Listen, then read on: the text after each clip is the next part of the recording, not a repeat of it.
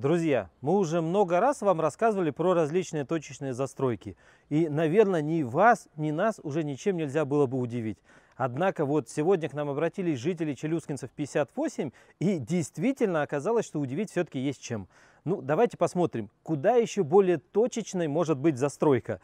Вот прям между двумя домами, между двумя многоэтажками. Пихают и строят еще одну – Удивительное дело. И тут, кстати, наверное, и вам, и мне сразу вспомнятся слова нашего губернатора, сказанные чуть больше года назад, как раз по поводу точечных застроек. Я предлагаю полностью запретить точечную застройку во всех городах Вологодской области. Прекратить раз и навсегда. Отдать дворы детям.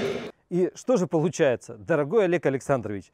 Вот нам даже нам стыдно за ваши решения, за те городские власти, которые выдают разрешение на строительство таким образом. Потому что ваши слова, получается, ну не стоят и ломаного гроша. И все свободные пространства, пустыри отдать под парки и скверы, под зону отдыха, под площадки для того, чтобы там гуляли наши дети. Ну, разве, скажите, здесь какие-то парки и скверы? Нет, здесь многоэтажка. Не детские площадки, чтобы отдать эту территорию прям детям между двумя домами, а отдать ее хотят именно под застройку очередного дома. Кстати, самое интересное, дорогие друзья, удивитесь ли вы, кто здесь имеет отношение к этой стройке? Вот давайте посмотрим. Два дома, Челюскинцев 62 и 58, строил Вологда стройзаказчик. А как мы знаем, к нему имеет прямое отношение базис ЛТД, который известен нам сейчас за стройкой в сквере на Ярославской и коррупционной схемой по ремонту 11 школы. Давайте посмотрим, кто же у нас проскальзывает здесь по связям.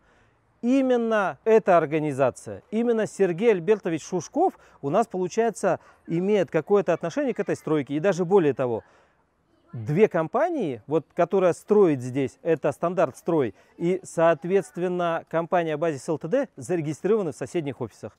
Ну, удивительно. Если в городе делают какое-то градостроительное говно, то здесь обязательно причастен Вологдостройзаказчик, базис ЛТД, ну и, конечно же, разрешение на строительство наверняка выдавал наш любимый мэр Воропанов. Стыдно ли за это Кувшинникову? Я думаю, никоим образом. Ведь он заявляет любые слова, хотя здесь, после любых его слов, правильно включать одну замечательную песню.